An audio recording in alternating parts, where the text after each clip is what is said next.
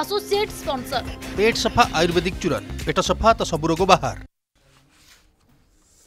ନମସ୍କାର ପ୍ରଥମ ଖବରକୁ ସ୍ୱାଗତ କରୁଛି ମୁଁ ସ୍ମୃତି ଲଗ୍ନ ପ୍ରଥମେ ନଜର ପକାଇବା ହେଡ୍ଲାଇନ୍ସ ଉପରେ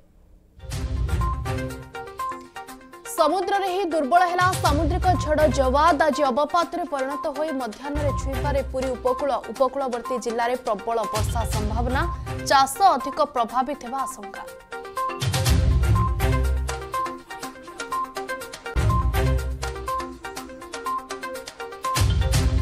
ରାଷ୍ଟ୍ରପତି ଭ୍ଲାଦିମିର ପୁଟିନଙ୍କ ଗସ୍ତ ପୂର୍ବରୁ ମୋଦି ସରକାରଙ୍କ ବଡ଼ ନିଷ୍ପତ୍ତି ରୁଷ ସହ ମିଶି AK two zero three rifle ଉତ୍ପାଦନ କରିବ ଭାରତ ପାଞ୍ଚ ହଜାର ଶହେ କୋଟିର ପ୍ରତିରକ୍ଷା ପ୍ରକଳ୍ପକୁ ମଞ୍ଜୁରୀ ସୋମବାର ପୁଟିନଙ୍କ ସହ ମିଶି ଅମେଠିକୁ ଉପହାର ଦେବେ ମୋଦି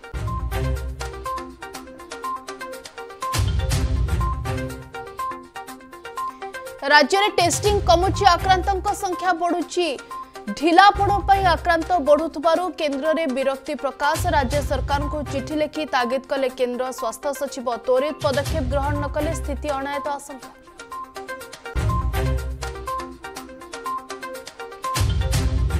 पद्मश्री नन्दसार स्वास्थ्यावस्था गुरुतर जाजपुर कोभिड हस्पिटाल भुवनेश्वर स्थानान्तर कोरोन आक्रान्त गत तीस मेडिका मेडिकलले चिकित्सित होती नन्दसार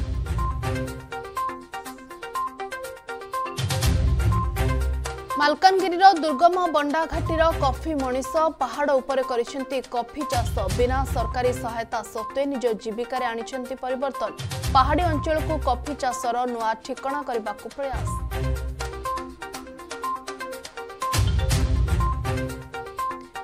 ଆଜି ଟ୍ରଫି ପାଇଁ ଟକ୍କର ଜୁନିୟର ପୁରୁଷ ହକି ବିଶ୍ୱକପ୍ ଫାଇନାଲ କଳିଙ୍ଗ ଷ୍ଟାଡିୟମରେ ମୁହାଁମୁହିଁ ହେବେ ଜର୍ମାନୀ ଆର୍ଜେଣ୍ଟିନା ସେପଟେ ବ୍ରୋଞ୍ଜ ପାଇଁ ଲଢ଼ିବେ ଭାରତ ଫ୍ରାନ୍ସ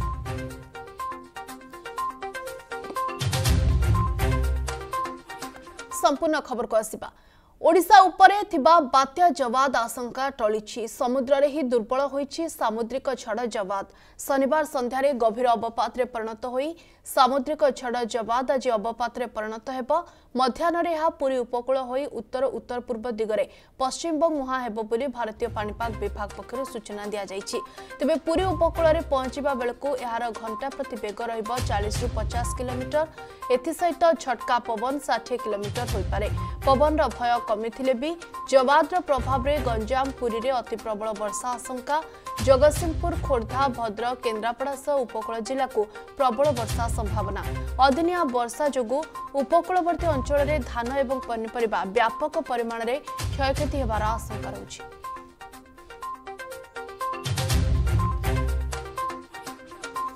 ଏ ବାବଦରେ ଅଧିକ ସୂଚନା ପାଇଁ ସିଧାସଳଖ ଆମ ପ୍ରତିନିଧି ଆଲୋକ ଆଶୁତୋଷ ଆମ ସହିତ ଯୋଡ଼ି ହୋଇଛନ୍ତି। ଆଲୋକ ପୁରୀରେ ଯଦିଓ ଲୋକମାନେ ଆଶ୍ୱସ୍ତ ହୋଇଛନ୍ତି କାରଣ ପବନର ବେଗ ଯେତେ ଅଧିକ ରହିଥାନ୍ତା ସେତେ ରହିବ ନାହିଁ।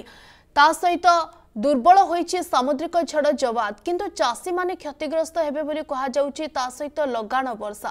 କେମିତି ଦେଖୁଛନ୍ତି ବର୍ତ୍ତମାନ ପୁରୀରେ ପାଗକୁ? ସ୍ମୃତିଲଗ୍ନ ଦେଖନ୍ତୁ ବାତ୍ୟା ଜହାଦ କ୍ରମଶଃ ଦୁର୍ବଳ ହେବା ନେଇକରି ଯେଉଁ ଖବର ଗଣମାଧ୍ୟମରେ ଆସିଲା ନିହାତି ଭାବରେ ପୁରୀବାସୀ ହୁଅନ୍ତୁ ଜିଲ୍ଲାବାସୀ ହୁଅନ୍ତୁ ନିଶ୍ଚିତ ଭାବରେ ସେମାନଙ୍କ ପାଇଁ ଗୋଟେ ଆଶ୍ୱସ୍ତିର ଖବର। କାରଣ ସେମାନେ ଅତି ନିକଟରୁ ମହାବାତ୍ୟା ଫନିକି ଦେଖିଥିଲେ ବ୍ୟାପକ କ୍ଷୟକ୍ଷତି ହେଇଥିଲା। କିନ୍ତୁ ଯେଉଁଭଳି ଭାବରେ ବାତ୍ୟା ଜହାଦ ନିହାତି ଭାବରେ ସ୍ଥିତି ତାର ଅତି ଦୁର୍ବଳ ଅଛି ବୋଲି ଯାହା ପାଣିପାଗ ବିଭାଗ କହୁଛି ଏବଂ ଆଜି ମଧ୍ୟ ମଧ୍ୟାହ୍ନରେ ପୁରୀର ଯେକୌଣସି ଗୋଟେ ଜାଗାରେ ଲ୍ୟାଣ୍ଡଫଲ୍ କରିପାରେ ଏବଂ ସେତେବେଳେ ଆପଣ ଯେଉଁଭଳି ସୂଚନା ଦେଉଥିଲେ ପବନର ବେଗ ପଚାଶରୁ ଷାଠିଏ ଭିତରେ ରହିବ ଏବଂ ଝଟକା ପବନର ବେଗ ମଧ୍ୟ ଷାଠିଏରୁ ସତୁରି ଭିତରେ ରହିବ। ନିଶ୍ଚିତ ଭାବେ ଇଏ ଗୋଟେ ଆଶ୍ୱସ୍ତିର ଖବର କିନ୍ତୁ ଆପଣ ଯେଉଁ କଥା ପଚାରିଲେ ଧାନ କେତେ ନଷ୍ଟ ହୋଇଛି ପ୍ରାୟ ଯାହା ଜିଲ୍ଲା ସୂଚନା ଏବଂ ଲୋକ ସମ୍ପର୍କ ବିଭାଗ ବିଭାଗର ଅଧିକାରୀଙ୍କଠାରୁ ଆମେ ଯାହା ଖବର ପାଇଛୁ ପୁରୀ ଜିଲ୍ଲାର ପ୍ରାୟ ତିରିଶ ହଜାର ହେକ୍ଟର ଜମିର ଯେଉଁ ଧାନ ଅମଳ ହୋଇଥିଲା ସେ ଧାନକୁ ସୁରକ୍ଷିତ ଭାବେ ରଖାହେଇଛି ଅନ୍ୟପଟେ ଗୁରୁତ୍ୱପୂର୍ଣ୍ଣ ସୂଚନା ହେଉଛି ଆପଣ ଜାଣିଛନ୍ତି ପୁରୀ ଜିଲ୍ଲାରେ ଯେହେତୁ ଲ୍ୟାଣ୍ଡଫଲ୍ କରିବାର ଆଶଙ୍କା ଯଥେଷ୍ଟ ରହିଛି ସେଥିପାଇଁ ଶହେ ସତୁରିଟି ବହୁମୁଖୀ ବାତ୍ୟା ଆଶ୍ରୟସ୍ଥଳୀ ସହିତ চারিশহটি অঙ্গনবাড়ি কেন্দ্র হো স্কুল ঘর হো পঞ্চায়েত গৃহ হো কলেজ হো কিংবা কম্যুনিটি হল হো যে বাত্যাশ্রয়স্থলী যা ব্যবহার করা যাই থাকে তাহলে সামূহিক স্থগিত রখাগলা এর অর্থ হচ্ছে বাত্যা জওয়াজ যেভাবে ভাবে ধীরে ধীরে দুর্বল হচ্ছে তার স্থিতি সেপাই বাত্যাশ্রয় গৃহগুড়ি বর্তমান স্থানান্তর প্রক্রিয়া গোটে পাখে স্থগিত রহলা কিন্তু প্রবল বর্ষা এবং পবনর বেগকু দৃষ্টি রাখিকি সে বাত্যা আশ্রয়স্থলীগুড়ি মহজুদ রয়েছে কি নিহতি ভাবে আমি কইপার কিন্তু যা গতকাল সূচনা আসি ଯାହା ଗତକାଲି ସୂଚନା ଆସି ପହଞ୍ଚିଛି କୃଷ୍ଣପ୍ରସାଦ ବ୍ଲକରେ ସ୍ମୃତିଲଗ୍ନ ଛଅଟି ଗ୍ରାମରେ ପାଖାପାଖି ଚିଲିକାରେ ଜୁଆର ପାଣି ମଧ୍ୟ ଗାଁ ଭିତରକୁ ପଶି ଆସିଛି କିନ୍ତୁ ପୁରୀ ଜିଲ୍ଲା ପ୍ରଶାସନ ସମ୍ପୂର୍ଣ୍ଣ ଏଠି ପ୍ରସ୍ତୁତ ରହିଛି କିନ୍ତୁ ପ୍ରଥମେ ଦୃଶ୍ୟ ଦେଖିବାକୁ ଚାହିଁବେ ସ୍ମୃତିଲଗ୍ନ କିନ୍ତୁ ଜୁଆର ସମୁଦ୍ର ଅଶାନ୍ତ ରହିଛି ଆପଣ ଦେଖୁଛନ୍ତି ଗତକାଲି ଯେହେତୁ ଅମାବାସ୍ୟା ଥିଲା ସମୁଦ୍ରର ଟିକିଏ ଜୁଆର ଆସୁଥିଲା କିନ୍ତୁ ଆଜିର ଆଜିର କଥା ଯଦି କହିବା ଆଜି ତ ପାଗ ସମ୍ପୂର୍ଣ୍ଣ ଆକାଶ ମେଘାଚ୍ଛନ୍ନ ରହିଛି ଲଗାତାର ଝିପଝିପ ବର୍ଷା ଗତକାଲି ରାତିରୁ ହେଉଛି କିନ୍ତୁ ସମୁଦ୍ର କେଉଁଠି ନା କେଉଁଠି ଟିକେ ଜୁଆରିଆ ରହିଛି ବା ସୁ- ଯୋଉ ଜୁଆରର ମାତ୍ରା ଟିକେ ବୃଦ୍ଧି ପାଇଛି ତ ନିଶ୍ଚିତ ଭାବରେ ବର୍ତ୍ତମାନ ୟାକୁ ନେଇକି ସମସ୍ତଙ୍କ ମନରେ ଗୋଟେ ପ୍ରକାର ଖୁସିର ଖବର ଯାହା ମହାପ୍ରଭୁଙ୍କ ଦୟାରୁ ଜହାଜର ବିଶେଷ ପ୍ରଭାବ ପଡ଼ିବ ନାହିଁ। କିନ୍ତୁ ଆମେ କହିପାରିବା ଯୁଦ୍ଧକାଳୀନ ଭିତରେ ଯଦି ଜିରୋ କାଜୁଆଲିଟି ଉପରେ ତ ସ୍ମୃତିଲଗ୍ନ ଆପଣ ଜାଣିଛନ୍ତି ପ୍ରଶାସନ ଧ୍ୟାନ ଦେଇଛି। କିନ୍ତୁ ଯଦି ଲଗାତାର ଭାବେ ବର୍ଷା ହେଲା ନିଶ୍ଚିତ ଭାବରେ ଗୋଟେ ବନ୍ୟାର ପରିସ୍ଥିତି ମଧ୍ୟ ସୃଷ୍ଟି କରିପାରେ। ସେ ବନ୍ୟାର ପରିସ୍ଥିତିକୁ ଏଡ଼େଇବାକୁ ଯାଇକି ମଧ୍ୟ ଆମେ କହିପାରିବା ପୁରାପୁରି ଜିଲ୍ଲା ପ୍ରଶାସନ ପ୍ରସ୍ତୁତ ରହିଛି।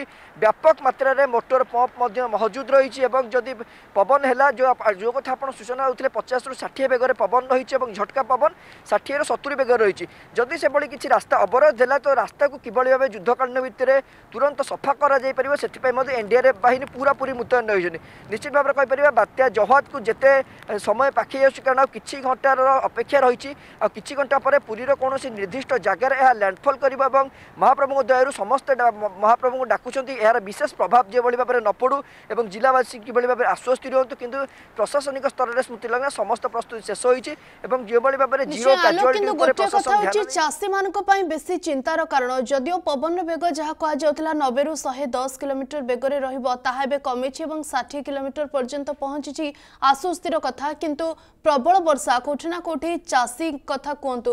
ସେ ଧାନ ହେଉ କି ପନିପରିବା କ୍ଷତିଗ୍ରସ୍ତର ଆଶଙ୍କା ରହୁଛି।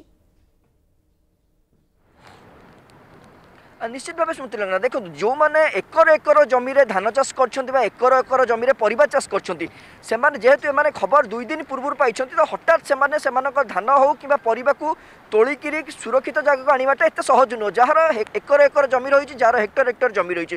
କିନ୍ତୁ ଯେଉଁମାନଙ୍କର ଜମିର ପରିମାଣ କମିଛି ଯେଉଁ ପରିଣାମ ପରିମାଣ କମ୍ ରହିଛି ସେମାନେ ନିଶ୍ଚିତ ଭାବରେ ସେମାନଙ୍କ ଧାନ ଏବଂ ପରିବାକୁ ସୁରକ୍ଷିତ ଜାଗାକୁ ଆଣିଛନ୍ତି। କିନ୍ତୁ ଯେଉଁମାନଙ୍କ ବ୍ୟାପକ ମାତ୍ରାରେ ଜମି ରହିଛି ଯାହାର ଯେଉଁଠି ଧାନ ଫସଲ କରାଯାଇଛି ଅମଳ କରାଯାଇଛି ଏବଂ ଆମେ କହିପାରିବା ପନିପରିବା ଚାଷ କରାଯାଇଛି ନିଶ୍ଚିତ ଭାବେ ସ୍ୱାଭାବିକ କଥା ସେମାନଙ୍କ ପରିବା ଏବଂ ଧାନ ନିହାତି ଭାବରେ କ୍ଷତି ହୋଇଛି। ତ ନିଶ୍ଚିତ ଭାବରେ ମୋଟାମୋଟି ଭାବରେ ଆମେ କହିପାରିବା ବର୍ତ୍ତମାନ କିନ୍ତୁ ଜିଲ୍ଲା ପ୍ରଶାସନ କହିଛି ପାଖାପାଖି ପୁରୀ ଜିଲ୍ଲାର ତିରିଶ ହଜାର ହେକ୍ଟର ଜମିରେ ହୋଇଥିବା ধানকু সে সুরক্ষিত জায়গাকে আনিছেন এবং আপনার জাঁচান বিশেষ করে প্রভাবিত হবার আশঙ্কা রয়েছে গৃহপালিত পশু মানে বুলা গাই গরু মানে প্রভাবিত হবার আশঙ্কা রয়েছে তো সে কীভাবে ভাবে আমি কবা যুদ্ধকালীন ভিতরে ইভাকুয়েট করা যাই গোটে সুরক্ষিত স্থানে রখা যাই পাব শুখিলা খাদ্য লোক রন্ধা খাদ্য ব্যাপক পরিমাণের পিবা পা মেডিসিন সবুকিছি মহজুদ রয়েছে নিশ্চিত ভাবে বাত্যা জহাদু মোকাবিলা করা প্রশাসনিক স্তরের বেশ তৎপরতা দেখা যাই তবে দেখা যাও বাত্যা জহাদর প্রভাব পুরী জেলার কেউ স্থানের ল্যান্ডফল করা এবং এর প্রভাব কীভাবে ভাবে দেখা বাকি রহব ସ୍ମୃତି ଲଗ୍ନା ବହୁତ ବହୁତ ଧନ୍ୟବାଦ ଆଲୋକ ସବିଶେଷ ସୂଚନା ପାଇଁ ଆଲୋକ ଆଶୁତୋଷ ପୁରୀ ପ୍ରତିନିଧି ଯାହା ସୂଚନା ଦେଉଥିଲେ ଯେ ଗଞ୍ଜାମ ପୁରୀରେ ଅତି ପ୍ରବଳ ବର୍ଷାର ଆଶଙ୍କା ତେଣୁ ଚାଷୀମାନେ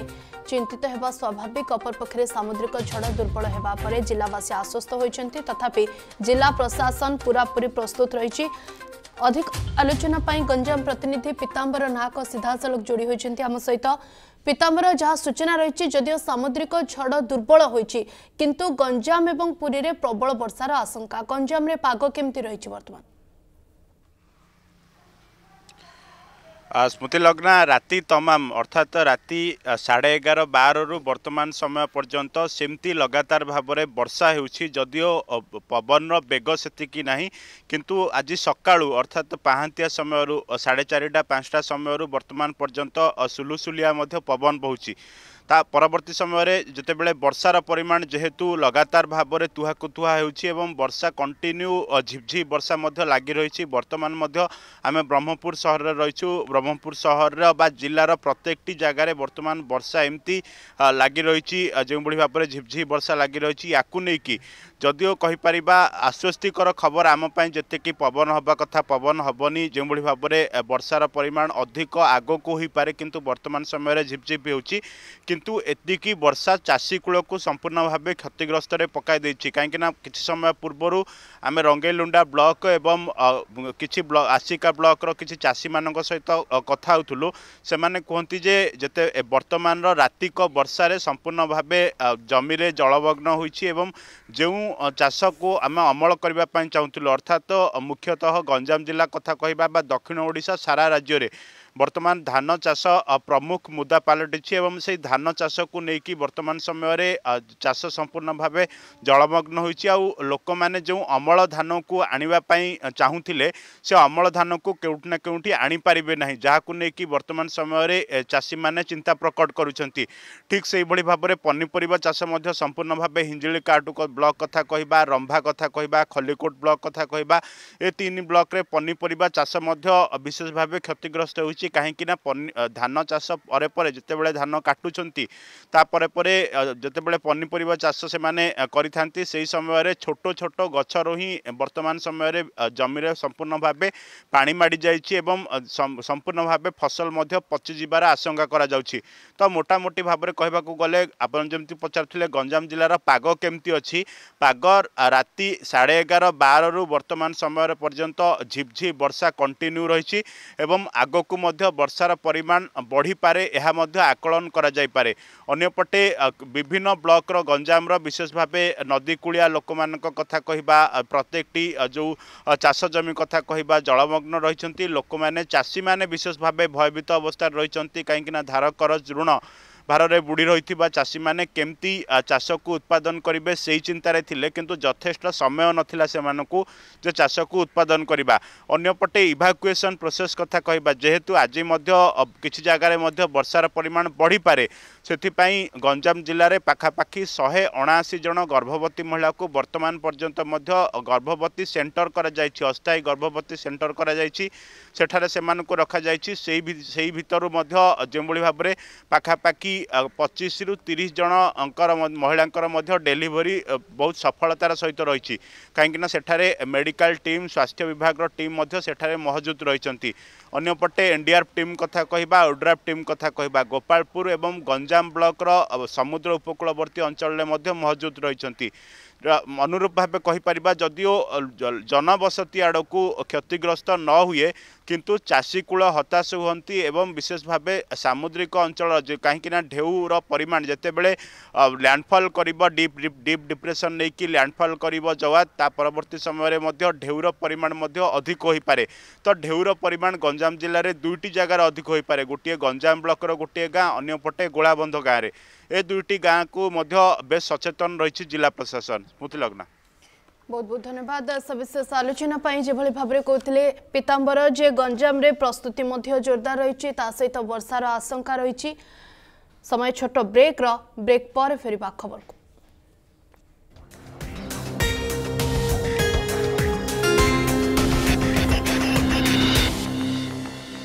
ବ୍ରେକ୍ ପରେ ସ୍ୱାଗତ। ଓଡ଼ିଶା ଉପରେ ଥିବା ବାତ୍ୟା ଜବାଦ ଆଶଙ୍କା ଟଳିଛି ସମୁଦ୍ରରେ ଦୁର୍ବଳ ହୋଇଛି ସାମୁଦ୍ରିକ ଝଡ଼ ଜବାଦ ଯାହା ଅନେକଙ୍କୁ ଆଶ୍ୱସ୍ତ କରିଛି।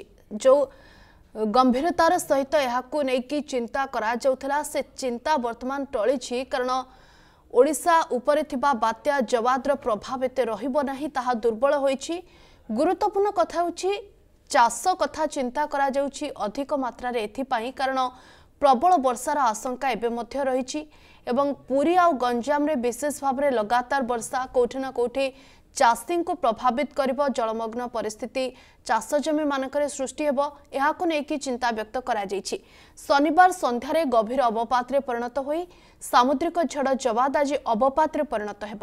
ମଧ୍ୟାହ୍ନରେ ଏହା ପୁରୀ ଉପକୂଳ ହୋଇ ଉତ୍ତର ଉତ୍ତର ପୂର୍ବ ଦିଗରେ ପଶ୍ଚିମବଙ୍ଗ ମୁହାଁ ହେବ। ଭାରତୀୟ ପାଣିପାଗ ବିଭାଗ ସୂଚନା ଦେଇଛି। ପୁରୀ ଉପକୂଳରେ ପହଞ୍ଚିବା ବେଳକୁ ଏହାର ଘଣ୍ଟା ପ୍ରତି ବେଗ ରହିବ ଚାଳିଶରୁ ପଚାଶ କିଲୋମିଟର। ଝଟକା ପବନ ଷାଠିଏ କିଲୋମିଟର ବେଗରେ ବହିପାରେ। ପବନର ଭୟ କମିଛି କିନ୍ତୁ ଜବାଦର ପ୍ରଭାବରେ। ବିଶେଷ ଭାବରେ ଗଞ୍ଜାମ ଏବଂ ପୁରୀରେ ଅତି ପ୍ରବଳ ବର୍ଷାର ଆଶଙ୍କା। ସେଭଳି ଭାବରେ ଜଗତସିଂହପୁର ଖୋର୍ଦ୍ଧା ଭଦ୍ରକ କେନ୍ଦ୍ରାପଡ଼ା ଉପକୂଳ ଜିଲ୍ଲାକୁ ପ୍ରବଳ ବର୍ଷାର ସମ୍ଭାବନା। ତେବେ ଅଦିନିଆ ବର୍ଷା ଯୋଗୁଁ ଉପକୂଳବର୍ତ୍ତୀ ଅଞ୍ଚଳରେ ବିଶେଷ ଭାବରେ ଚାଷୀମାନେ ପ୍ରଭାବିତ ହେବେ ଏବଂ ଚାଷ କ୍ଷତିଗ୍ରସ୍ତ ହେବ ଏ ଆଶଙ୍କା ମଧ୍ୟ ଉପୁଜିଛି।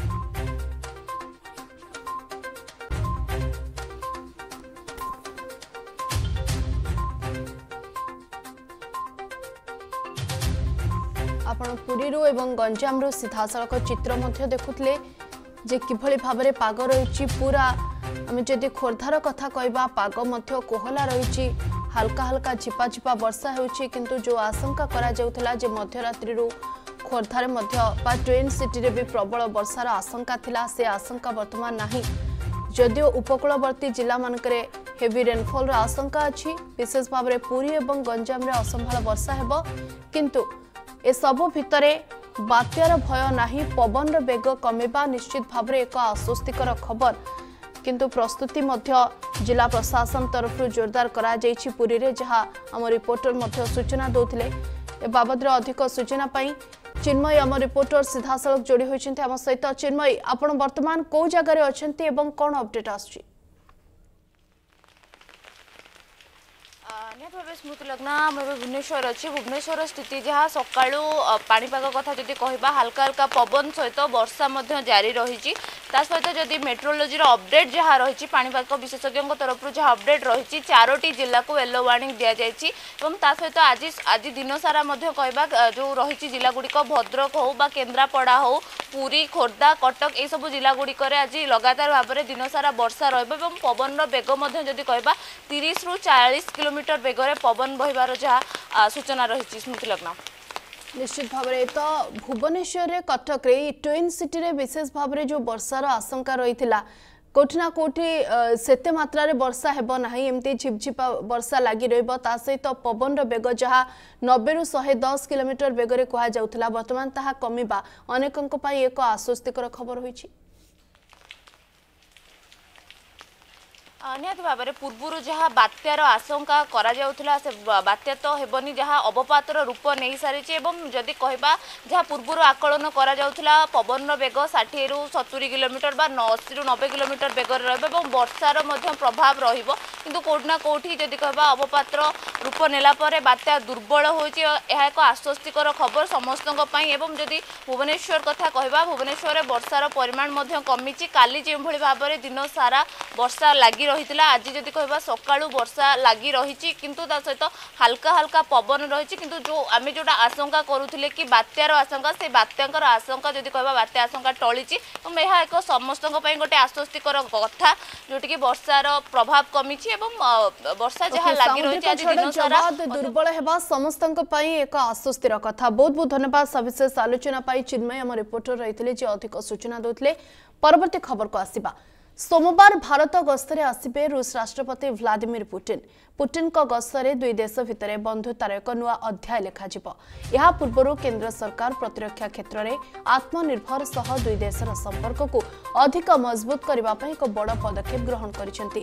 ମୋଦି ସରକାର ରୁଷ ସହ ମିଶି ପାଞ୍ଚ ଲକ୍ଷ AK two zero three rifle ଉତ୍ପାଦନ ପାଇଁ ପାଞ୍ଚ ହଜାର ଶହେ କୋଟି ଟଙ୍କାର ପ୍ରକଳ୍ପକୁ ଅନ୍ତିମ ଅନୁମତି ପ୍ରଦାନ କରିଛନ୍ତି ସୋମବାର ପ୍ରଧାନମନ୍ତ୍ରୀ ମୋଦି ରୁଷ ରାଷ୍ଟ୍ରପତି ଭ୍ଲାଦିମିର ପୁଟିନ ଏହାର ଆନୁଷ୍ଠାନିକ ଘୋଷଣା କରିବେ ତେବେ ଚୁକ୍ତି ହିସାବରେ ଉତ୍ତରପ୍ରଦେଶ ଆମେଠିର କୋରୱା ସ୍ଥିତ Indo Russian rifle private ଲିମିଟେଡରେ AK two zero three rifle ଉତ୍ପାଦନ କରାଯିବ ଏହି ପ୍ରକଳ୍ପ ବିଭିନ୍ନ ଭାରତୀୟ ପ୍ରତିରକ୍ଷା ଶିଳ୍ପ ସଂସ୍ଥା ପାଇଁ ବ୍ୟବସାୟ ଏବଂ ପରୋକ୍ଷରେ ନିଯୁକ୍ତି ସୁଯୋଗ ସୃଷ୍ଟି କରିବା ସହ ମେକ୍ ଇନ୍ ଇଣ୍ଡିଆକୁ ବଳ ଦେବ ନିଶ୍ଚୟ। ଗତ ବର୍ଷ ପ୍ରତିରକ୍ଷା ମନ୍ତ୍ରୀ ରାଜନାଥ ସିଂଙ୍କର ମସ୍କୋ ଗସ୍ତ ସମୟରେ ଦୁଇ ଦେଶ ବୁଝାମଣାକୁ ମଞ୍ଜୁରୀ ପ୍ରଦାନ କରିଥିଲେ। ଏ ଅତ୍ୟାଧୁନିକ AK two zero three rifle ଗତ ତିନି ଦଶନ୍ଧି ପୂର୍ବେ ସେବାରେ ସାମିଲ ହୋଇଥିବା ଇନସାସ ରାଇଫଲର ସ୍ଥାନ ନେବ। ରାଇଫଲ ମିଳିବା ପରେ ଆତଙ୍କବାଦୀ ଏବଂ ଉଗ୍ରବାଦୀ ବିରୋଧୀ ଅଭିଯାନରେ ସେନାର ପରିଚାଳନା ଅଧିକ ପ୍ରଭାବୀ ରହିବ ସେପଟେ ଗସ୍ତ ସମୟରେ ଦୁଇ ଦେଶ ଭିତରେ ଟୁ ପ୍ଲସ୍ ଟୁ ଆଲୋଚନା ସହ ଦଶଟି ଗୁରୁତ୍ୱପୂର୍ଣ୍ଣ ରାଜିନାମା ଉପରେ ଆଲୋଚନା ହୋଇପାରେ Well, uh, first of all, thank you very much for this for this visit. It's my pleasure and honor, being the Russian ambassador, to introduce the coming event of major political sig- signifi- significance to the Indian public. Well, yes, let me confirm, let me once again confirm that December 6th, uh, the President of the Russian Federation, Mr. Vladimir Vladimirovich Putin, would be coming to India, to Delhi, for a working for, for a working visit. His talks to the Prime Minister, with the Prime Minister, His Excellency Mr. Narendra Modi, Modi are, are expected. What is so special of this visit? Oh, well, after all, it's taking place after a comparatively long pause in physical contact, around, around two years. Covid ନିୟନ୍ତ୍ରଣକୁ ନେଇ ରାଜ୍ୟକୁ କେନ୍ଦ୍ରର ତାଗିଦ ସଂକ୍ରମଣ ବଢ଼ିବା ଓ testing କମିବାକୁ ନେଇ ଅସନ୍ତୋଷ ଝାଡ଼ିଲେ କେନ୍ଦ୍ର ସ୍ୱାସ୍ଥ୍ୟ ସଚିବ ଖୋର୍ଦ୍ଧା ସହ ଛଅ ଜିଲ୍ଲାରେ ସଂକ୍ରମଣ ହାର ଚିନ୍ତାଜନକ ଓମିକ୍ରାନ୍ ଭ୍ୟାରିଏଣ୍ଟ ଭୟ ଭିତରେ ଓଡ଼ିଶାର କୋଭିଡ୍ ଷ୍ଟ୍ରାଟେଜି ଉପରେ ବଡ଼ ପ୍ରଶ୍ନ ସୃଷ୍ଟି ହୋଇଛି ଓଡ଼ିଶାରେ କାହିଁକି ବଢ଼ୁଛି ସଂକ୍ରମଣ? ରାଜ୍ୟ ସରକାରଙ୍କୁ ତାଗିଦ କଲେ କେନ୍ଦ୍ର ସ୍ୱାସ୍ଥ୍ୟ ସଚିବ। ଗୋଟିଏ ପଟେ ଓମିକ୍ରନ୍ ଭୟ ସେପଟେ ଓଡ଼ିଶାରେ ଉପରମୁହାଁ ସଂକ୍ରମଣ। ଢିଲାପଣ ପାଇଁ ରାଜ୍ୟ ସରକାରଙ୍କୁ ରାଜ୍ୟ ସ୍ୱାସ୍ଥ୍ୟ ସଚିବଙ୍କୁ ଚିଠି ଲେଖି ସତର୍କ କରାଇଛନ୍ତି କେନ୍ଦ୍ର ସ୍ୱାସ୍ଥ୍ୟ ସଚିବ। ତଥ୍ୟ କହୁଛି ତିରିଶ ଦିନରେ ଓଡ଼ିଶାରେ ଚିହ୍ନଟ ହୋଇଛନ୍ତି ସାତ ହଜାର ଚାରିଶହ ପଇଁଚାଳିଶ କୋଭିଡ୍ ପଜିଟିଭ୍। ଯାହାକି ଦେଶରେ ମାସେ ଭିତରେ ଚିହ୍ନଟ ହୋଇଥିବା ପଜିଟିଭ୍ କେସ୍ର ଦୁଇ ଦଶମିକ ପାଞ୍ଚ ପ୍ରତିଶତ। ସେପଟେ ଖୋର୍ଦ୍ଧାରେ ଅଣାୟତ ହେବାରେ ଲାଗିଛି ସଂକ୍ରମଣ ସ୍ଥିତି। ସପ୍ତାହରେ ଚିହ୍ନଟ ହୋଇଛନ୍ତି ନଅଶହ ପଜିଟିଭ୍। ସପ୍ତାହ ଭିତରେ ଛଅ ଜିଲ୍ଲାରେ ବଢ଼ିଛି ସଂକ୍ରମଣ ହାର। ଦୁଇ ସପ୍ତାହର ହିସାବ ଦେଇଛନ୍ତି କେନ୍ଦ୍ର ସ୍ୱାସ୍ଥ୍ୟ ସଚିବ। କୋଡ଼ିଏରୁ ଛବିଶ ନଭେମ୍ବର ମଧ୍ୟରେ ଢେଙ୍କାନାଳରେ ନଅ ପଜିଟିଭ୍ ଏବଂ ସତେଇଶ ନଭେମ୍ବରରୁ ତିନି ଡିସେମ୍ବର ମଧ୍ୟରେ ଅଣସ୍ତରୀ ଜଣ ସଂକ୍ରମିତ ଚିହ୍ନଟ ହୋଇଛନ୍ତି। ସପ୍ତାହକରେ ଢେଙ୍କାନାଳରେ ଛଅଶହ ଛଅଷଠି ଦଶମିକ ସାତ ପ୍ରତିଶତ ବଢ଼ିଛି ସଂକ୍ରମଣ ହାର। କନ୍ଧମାଳରେ ଦୁଇଶହ ପଚାଶ ପ୍ରତିଶତ ନବରଙ୍ଗପୁରରେ ଶହେ ପଚାଶ ପ୍ରତିଶତ କେନ୍ଦୁଝର ଜିଲ୍ଲାରେ ଶହେ ନଅ ଦଶମିକ ଏକ ଅନୁଗୁଳରେ ପଞ୍ଚାନବେ ଓ ବଲାଙ୍ଗୀରରେ ପଞ୍ଚସ୍ତରୀ ପ୍ରତିଶତ ସଂକ୍ରମଣ ହାର ସାତ ଦିନ ଭିତରେ ବଢ଼ିଛି। ସେପଟେ ରାଜ୍ୟ ସରକାରଙ୍କ ସଫେଇ ମୁକାବିଲା ପାଇଁ ପ୍ରସ୍ତୁତ ଅଛୁ। ବିଦେଶ ଫେରନ୍ତାଙ୍କ ଉପରେ ନଜର ଅଛି। ସ୍କୁଲରେ ସଂକ୍ରମଣ ପାଇଁ ନିଆଯାଇଛି ପଦକ୍ଷେପ। ଆମ ସରକାର ସବୁ ପ୍ରକାର ବ୍ୟବସ୍ଥା କରିଛି ମାଇ ଡିପାର୍ଟମେଣ୍ଟ ପୁରା ତୀକ୍ଷ୍ଣ ଦୃଷ୍ଟି ରଖିଛି ଏବଂ ଆମେ ସବୁ ବ୍ୟବସ୍ଥା କରିଛୁ। ମୋର ଦୃଢ଼ ବିଶ୍ୱାସ ଓମିକେନ୍ରେ ସେମିତି କୌଣସି ମାନେ ଭୟ କରିବାର ଓଡ଼ିଶାରେ ନାହିଁ। ମାନ୍ୟବର ମୁଖ୍ୟମନ୍ତ୍ରୀଙ୍କ ନିର୍ଦ୍ଦେଶରେ ଆମ ବିଭାଗ ସଚେତନ ଅଛି ଯେପରି ଭାବରେ କୌଣସି ସମସ୍ୟା ନ ହୁଏ ଏବଂ ପିଲାମାନଙ୍କର ଯେଉଁଠି ଥଣ୍ଡା ଜ୍ୱର କେଉଁଠି ଅଛି ସେମାନେ ପିଲାମାନେ ସ୍କୁଲକୁ ଆସିବେ ନାହିଁ ସେ ମଧ୍ୟ ପରାମର୍ଶ ରହୁଛି ଏବଂ ମିଳିତ ଭାବରେ ଆମ ବିଭାଗ ଏବଂ ହେଲ୍ଥ ଡିପାର୍ଟମେଣ୍ଟ ଆବଶ୍ୟକତା ବେଳେ କେଉଁଠି ଡକ୍ଟର ଟିମ୍ ଯିବା କଥା ସେଗୁଡ଼ିକ ଜିଲ୍ଲା ପ୍ରଶାସନ ମାନେ ମଧ୍ୟ ତାକୁ ଦେଖୁଛନ୍ତି। ଓଡ଼ିଶାରେ ଓମିକ୍ରନ୍ ପ୍ରବେଶକୁ ରୋକିବାକୁ ବିଦେଶ ଫେରନ୍ତାଙ୍କ ଉପରେ କଡ଼ା ନଜର ରଖାଯାଇଥିବା କହିଛନ୍ତି ଡିଏମ୍ଇଟି। ଓମିକ୍ରାନ୍ ଭାରିଆଣ୍ଟ ବିରୋଧରେ ଟିକା କ୍ରସ୍ ପ୍ରୋଟେକ୍ସନ ଦେବ ବୋଲି କହିଛନ୍ତି ପରିବାର କଲ୍ୟାଣ ନିର୍ଦ୍ଦେଶକ। ଗୋଟେ ଫ୍ୟାମିଲି ତାଙ୍କର କରୋନା ଭାଇରସ୍ ତେଣୁକରି ସେମାନଙ୍କର କ୍ରସ୍ ପ୍ରୋଟେକ୍ସନ୍ ନିଶ୍ଚିତ ଭାବେ ରହିବ ଏବଂ ନିଶ୍ଚିତ ଭାବେ ଏହି ଟୀକା ନିଶ୍ଚୟ କାମ କରିବ। ଯଦି ଚ ଶତ ପ୍ରତିଶତ କାମ କରିବ କି ନାହିଁ ତା ବିଷୟରେ ଆମର ଗବେଷଣା ଚାଲିଛି। କିନ୍ତୁ କ୍ରସ୍ ପ୍ରୋଟେକ୍ସନ୍ ନିଶ୍ଚିତ ରହିବ ଏବଂ ସିରିୟସ୍ ହେବାରୁ ରକ୍ଷା କରିବ ଡେଥ୍ରୁ ରକ୍ଷା କରିବ। ଇଣ୍ଟରନ୍ୟାସନାଲ୍ ଟ୍ରାଭେଲର ହିସାବରେ ସେମାନଙ୍କର ଯଦି ପଜିଟିଭ୍ ବାହାରିଲେ ଜିନୋମ୍ ସିକ୍ୱେନ୍ସିଂ ପଠାଯିବ ସେଇଥିରୁ ଜଣାପଡ଼ିବ ସେମାନେ either omicron or other prevailing virus ଦ୍ୱାରା ଇନଫେକ୍ଟେଡ୍ ହେଇଛନ୍ତି ରାଜ୍ୟରେ କୋଭିଡ୍ ଟେଷ୍ଟିଂ କମିଥିବା ନେଇ ମଧ୍ୟ ଚିଠିରେ ଉଦ୍ବେଗ ପ୍ରକାଶ କରିଛନ୍ତି କେନ୍ଦ୍ର ସ୍ୱାସ୍ଥ୍ୟ ସଚିବ ଗତ ସପ୍ତାହରେ ତିନି ଦଶମିକ ଏକ ପ୍ରତିଶତ ଟେଷ୍ଟିଂ କମିଛି କୋଡ଼ିଏରୁ ଛବିଶ ନଭେମ୍ବର ମଧ୍ୟରେ ରାଜ୍ୟରେ ଚାରି ଲକ୍ଷ ଏକ ହଜାର ଚଉଷଠି ଜଣଙ୍କ ଟେଷ୍ଟିଂ ହୋଇଛି ଗତ ସପ୍ତାହରେ ତିନି ଲକ୍ଷ ଅଠାଅଶୀ ହଜାର ସାତଶହ ଅଠସ୍ତରୀ ଜଣଙ୍କ ଟେଷ୍ଟିଂ ହୋଇଛି ଭୁବନେଶ୍ୱରରୁ ଦିବ୍ୟଜ୍ୟୋତି ମହାନ୍ତିଙ୍କ ସହ ପ୍ରଦୀପ୍ତ ମହାପାତ୍ରଙ୍କ ରିପୋର୍ଟ ଅର୍ଗସ୍ ନ୍ୟୁଜ୍ ଏବେ ଆମେ ଆପଣଙ୍କୁ ଦୁର୍ଗମ ବଣ୍ଡାଘାଟିରୁ ଏଭଳି ଏକ ଖବର ଦେଖାଇବୁ ଯାହା ସମସ୍ତଙ୍କ ପାଇଁ ନିଶ୍ଚିତ ରୂପେ ପ୍ରେରଣାଦାୟୀ। ଆମେ ସବୁ ବଣ୍ଡାଘାଟିର ପ୍ରଥମ କଫି ଚାଷୀଙ୍କ କଥା କହିବୁ। ତେବେ ମାଲକାନଗିରି ବଣ୍ଡାଘାଟିର କଫି କଫି ମଣିଷ ଅର୍ଜୁନ ସିସା ନିଜର ପ୍ରୟାସରେ ପାହାଡ଼ ଉପରେ କଫି ଚାଷ କରିଛନ୍ତି। ସରକାରୀ ସୂଚନା ଓ ସହାୟତା ମିଳିନଥିବା ସତ୍ତ୍ୱେ ଅର୍ଜୁନ ଆନ୍ଧ୍ରର ବ୍ୟବସାୟୀଙ୍କ ପରାମର୍ଶ ଆଧାରରେ ନିଜ ଜୀବିକାରେ ଆଣିପାରିଛନ୍ତି ପରିବର୍ତ୍ତନ।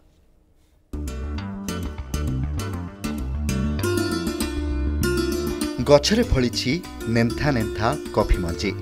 ସବୁଜ କଫି ମଞ୍ଜିଗୁଡ଼ିକୁ ଦେଖାଉଛନ୍ତି ଚାଷୀ।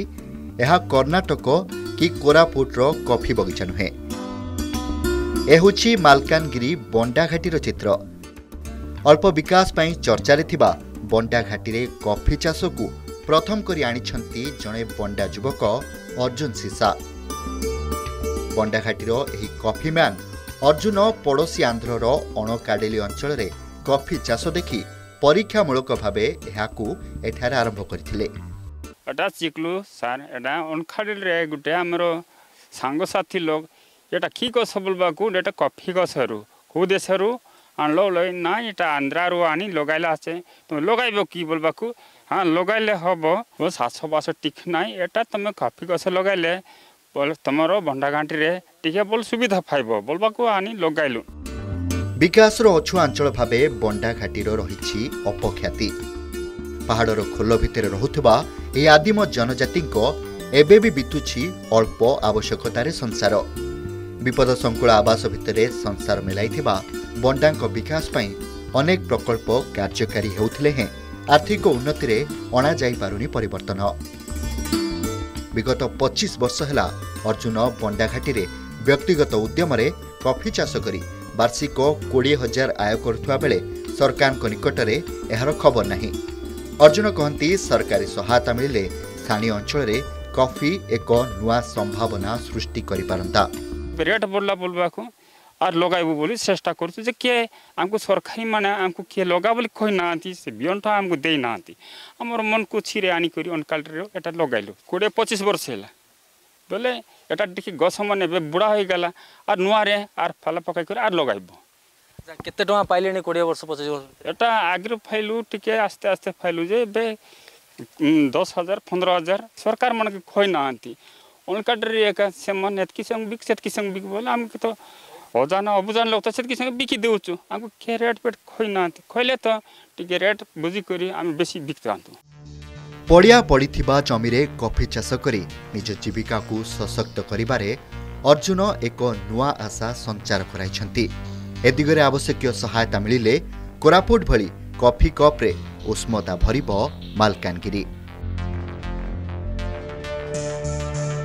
ମାଲକାନଗିରିରୁ ଜଗନ୍ନାଥ ଦଳାଇଙ୍କ ସହ ବିକ୍ରମ କେଶରୀ ସ୍ୱାଇଁଙ୍କ ରିପୋର୍ଟ ଅର୍ଗସ୍ ନ୍ୟୁଜ୍।